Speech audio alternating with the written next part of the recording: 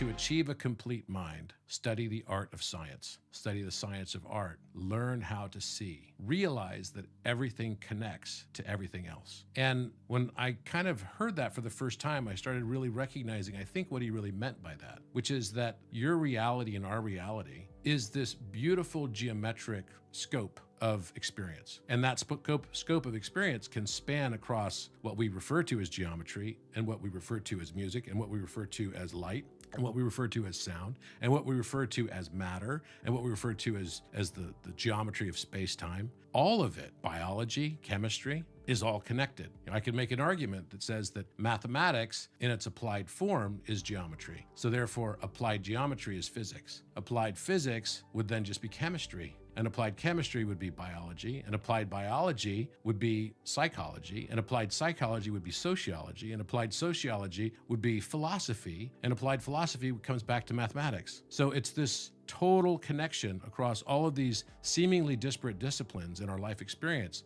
that leads us to recognize that, wait a minute, it's not all separate at all, it's all one. And that geometry in all of its different manifestations and forms across all those different disciplines and specialties is turning us back to recognize the oneness of the universe.